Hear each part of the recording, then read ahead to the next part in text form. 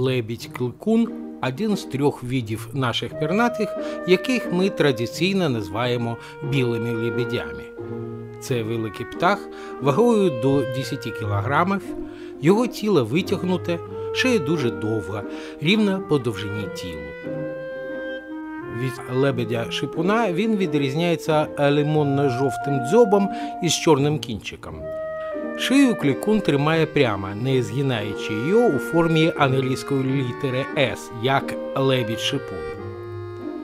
Лебідь легендарний птах Європи, чого варта лише легенда про лебедіну пісню, легенда заснована на народному повір'ї, згідно з яким предсмертний спів лебедів дуже красивий. Який лебідь міг стати прототипом цієї легенди?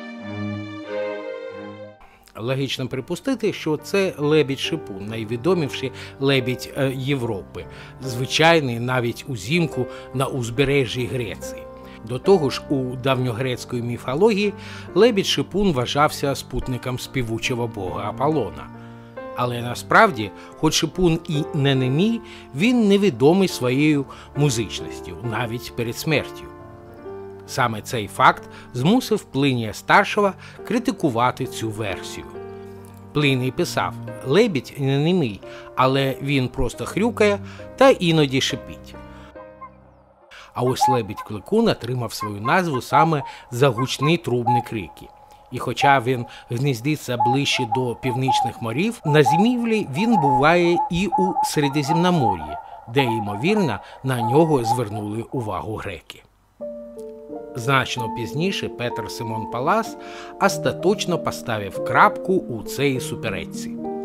Можливість дивовижного співу кликуна закреплена на рівні фізіології та пояснюється наявністю додаткової петлі трахеї всередині грудини, якої у шипуна немає. Так до лебедіної пісні Лебідь Шипун не має жодного відношення, і всі подобні малюнки позбавлені біологічної правди. І ще кілька слів про кликуна. Кликун обережний, зазвичай його можна зустріти лише на водних просторах далеко від берега. По землі ходити не любить і робить це вкрай неохоче та рідко.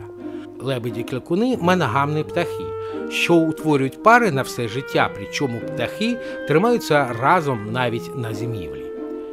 Зміна партнера можлива лише у разу загибелі одного з лебедів. А також лебідь клякун є національним символом Фінляндії.